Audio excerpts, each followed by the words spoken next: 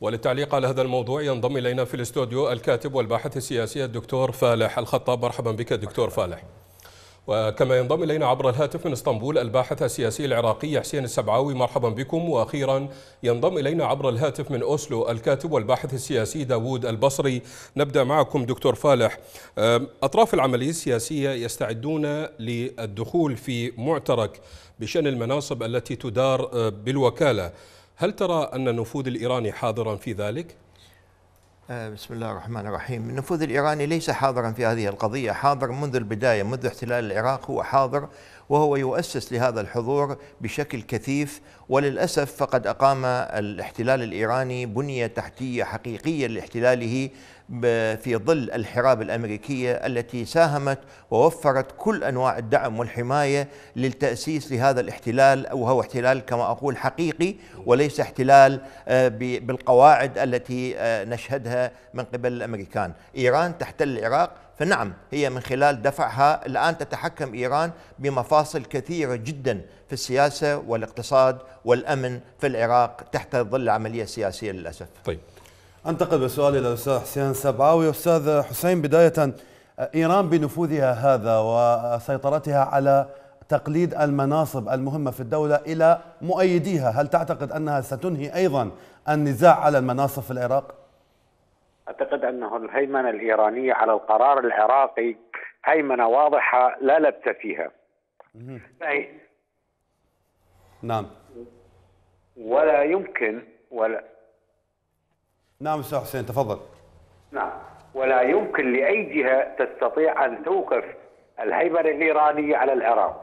ولا ولا أيضا ولا يمكن لأي مسؤول عراقي أن يكون له موقف سلبي من النفوذ الإيراني في العراق ويبقى في موقعه أو في السلطة. وبدليل ذلك أنه السيد العبادي عندما له بعض التصريحات البسيطة ضد إيران أو يختلف عن مزاج إيران ما استطاع البقاء في دورة ثانية.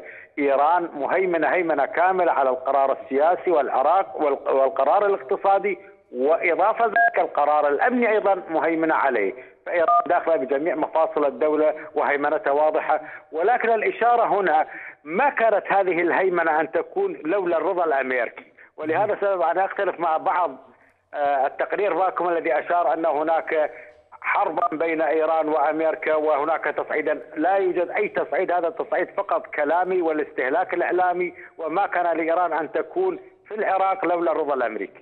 أستاذ داود البصري آه، آه، إن كنت معنا مرحبا بكم. أهلا وسهلا. أستاذ داود هناك الكثير من المناصب تدار بالوكالة منذ زمن نور المالكي برأيكم هل هذه ربما تكون محاولة من من أذرع إيران لتشكيل دولة عميقة في العراق؟ لا شك أن إيران هي صاحبة هي حاملة المفاتيح الكبرى في الدولة العراقية الراهنة. ولا شك أن العراق اليوم تحول مع كل الأسف إلى ما يمكن أن نسميه بعراق العجم. لأن السيطرة الفعلية السيطرة الفعلية للأحزاب الإيرانية وللجماعات الإيرانية وللأشخاص المرتبطين المرتبطين ولائيا وفكريا وعقيديا حتى في إيران، حتى الطرف الآخر الطائفي. استطاعت إيران أو استطاع النظام الإيراني أو استطاعت قيادات الحرس الثوري الإيراني أن تجلبها إلى جانبها عن طريق الإرهاب وعن طريق الترغيب أو الترهيب. لأن هنالك مزاج آه، سلطوي رئيسي يصف في خدمة النظام الإيراني، إيران آه، العراق الآن هو الملعب الخلفي والحديقة الخلفية للنظام الإيراني يلعب فيه كيفما يشاء. والمناصب طبعا لابد أن تنال موافقة السفير الإيراني. لن يمر أي منصب ولن يمر أي مشرع ولن يمر أي أي ملف في العراق إلا من خلال موافقة وعيون ورقابة قيادة الحرس الثوري من خلال السفارة الإيرانية الإرهابية التي هي مقر إرهابي تابع للحرس الثوري، هذه هي الحقيقة. والولايات المتحدة تتحمل مسؤولية كبرى، لأن هي التي أدت العراق إلى هذا الطريق، ولأن الولايات المتحدة هي التي تشارك إيران في في في جعل العراق حديقة إيرانية مع كل الأسف. أما ما ما يتفوه به وزير الخارجية الأمريكي أو حتى الرئيس الأمريكي مجرد أقوال وادعاءات لا أساس لها ميدانيا ولا واقعيا لأنه لو ارادت الولايات المتحدة قطع الأيادي الإيرانية فإنها خلال أسبوع واحد أعتقد تستطيع تنظف العراق.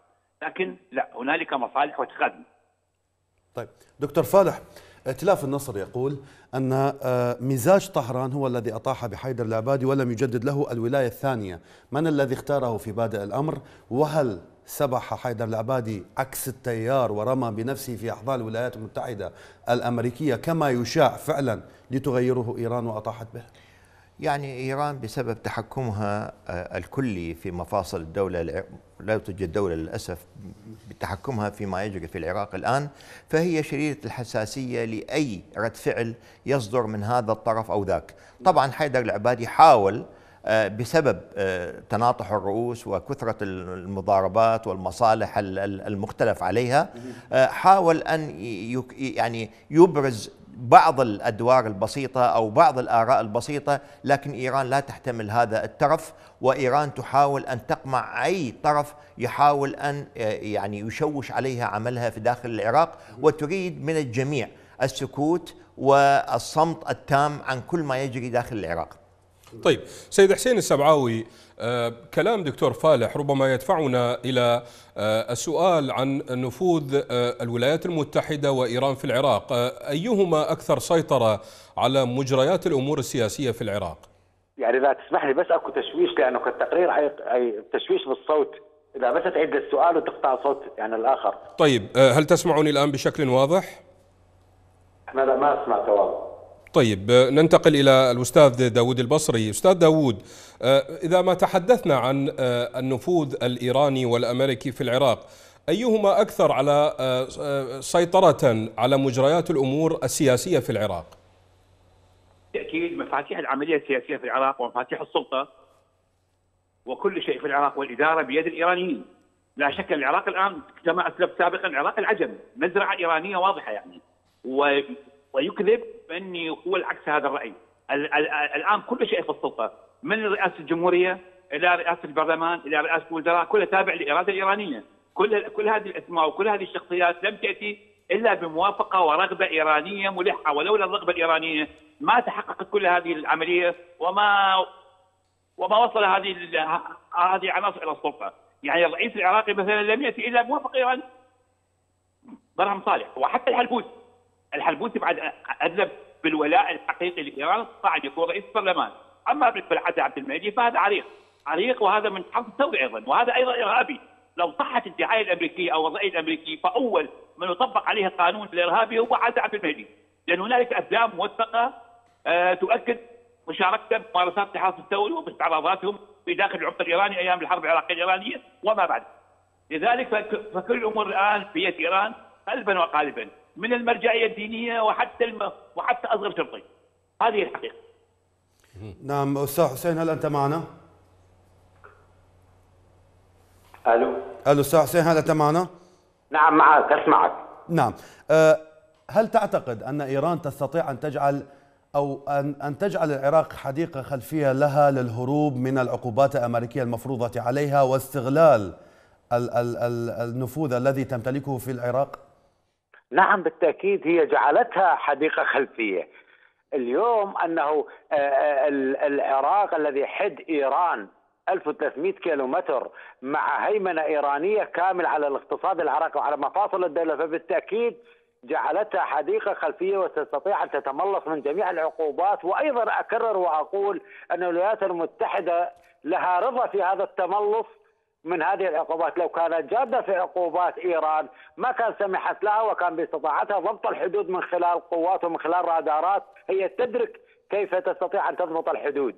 لكن تريد أنه تجعل تنأى بنفسها وتعتبر أنه العراق وإيران السبب في أنه تخفيف العقوبات. أصلها هي عقوبات وهمية لا قيمة لها لأن الولايات المتحدة هي من فتحت لها واستثنت العراق من العقوبات الإيرانية بل أغلب دول الجوار الإيراني لا يمكن استثنائها لو كانت الولايات المتحدة جادة في عقوبات إيران اقتصادية طيب. فنعم بالتأكيد العراق يعتبر حديقة الخلفية لإيران دكتور فالح آه، هناك أنباء تتحدث أن وزير الكهرباء آه، استعان بشركة إيرانية لنصب محطة كهرباء في كركوك، هذا الاتفاق يتعارض مع عقود شركتي سيمنز وجنرال إلكتريك آه، مع الحكومة، كيف تفسر هذه الخطوة؟ يعني هذا نفسرها في ضوء ما تم الكلام عنه الآن سواء مني أو من الضيوف المحترمين. آه، إيران تستحوذ على على مفاصل كثيرة في الاقتصاد العراقي وخصوصا مفصل الطاقة. الطاقة الآن بالفعل إيران متغلغلة فيه وتستطيع أن تقول أن إيران تتمكن من فرض شروطها وما تريده على العراقيين. دعك من الجودة ودعك من ال من ال من ال من القيمة الفعلية، المهم أن تعقد الصفقات والمهم أن إيران تحصل من خلال هذه العقود سواء كانت عقود وهمية أو حقيقية تحصل ما تريد وتنفذ من أي عقوبة وإن كان العقوبات لا يمكن النظر إليها بجدية لأن الولايات المتحدة الأمريكية خلقت هذا الواقع في العراق وهي تريد أن تحتكم إلى الآن، يعني هكذا طريقة أمريكا تخلق واقع معين ثم تريد أن تحتكم له إليه الآن، وبالتالي آه، العراق للأسف مجبر ربما لفترة قادمة آه، يعني ربما في المدى المتوسط على أن يبقى مرتهن بالخيار الإيراني إذا بقت الولايات المتحدة على موقفها في العراق خصوصا في موضوع الطاقة وموضوع المواصلات وأمور أخرى كثيرة اقتصادية. نعم. آه، أستاذ داود ما أشار إليه الدكتور فالح والوضع الاقتصادي في العراق. ألا يدخل العراق في سلسلة من مطالبات قانونية تكلف العراق ملايين الدولارات كتعويضات. ألا يدرك الوزير ذلك أم لا؟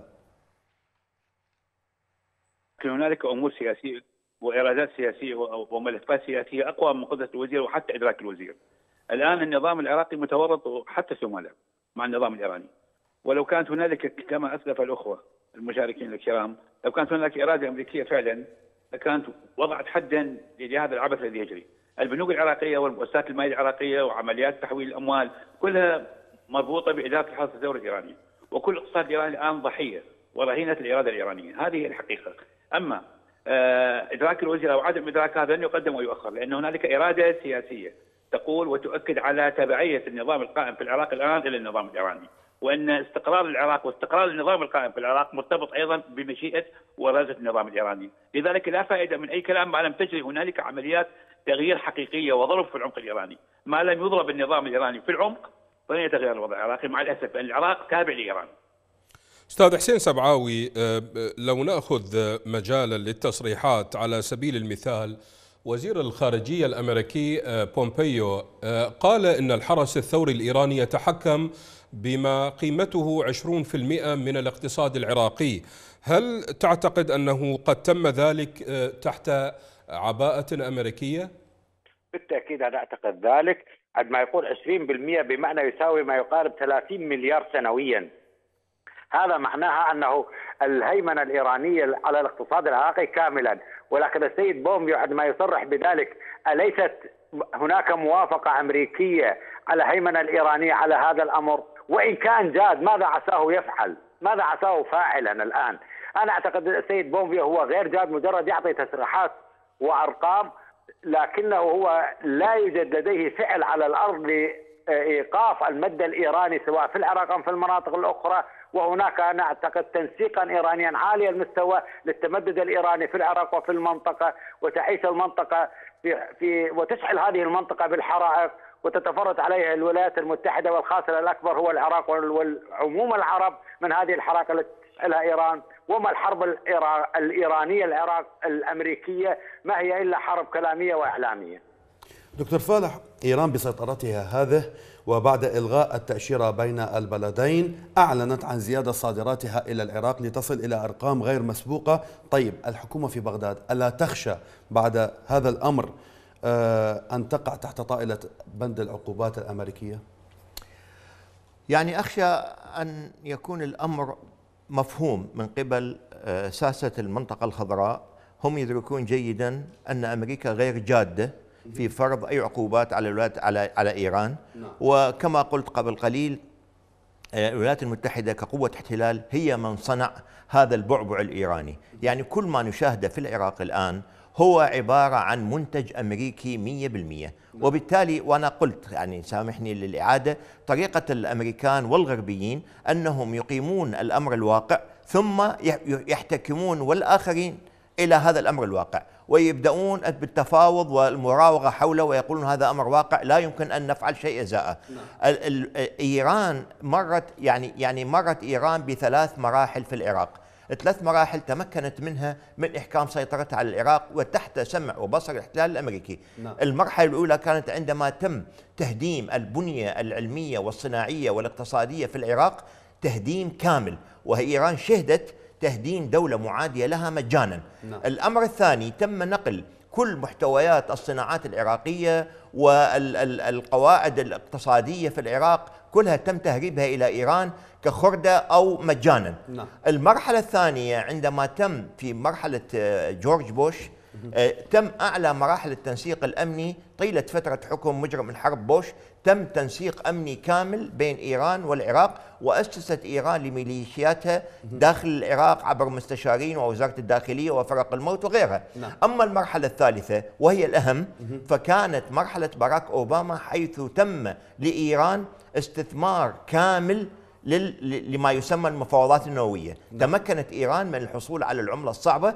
وتمكنت أيضا من الاستحواذ على المصارف العراقية والعملة الصعبة في العراق وبالتالي أحكمت سيطرتها. اليوم العراقيين أو الساسه اللي يحكمون العراق الآن لو هم متأكدين ان أن الولايات المتحدة طبعا هم لا يريدون. أنت هنا في هذه الحالة ينقصهم الإرادة والرغبة، لا إرادة ولا رغبة عند ساسة المنطقة الخضراء في مواجهة إيران لأنهم يعملون لصالح إيران، ولكن فرضا جدلا لو أنهم يعرفون أن الولايات المتحدة جادة في معالجة الوضع الإيراني لكان أمكن لهم أن يقفوا ويشربون حليب السباع ويتمتعون بشيء من الشجاعة. ولكن هذا لا يحصل أبدا.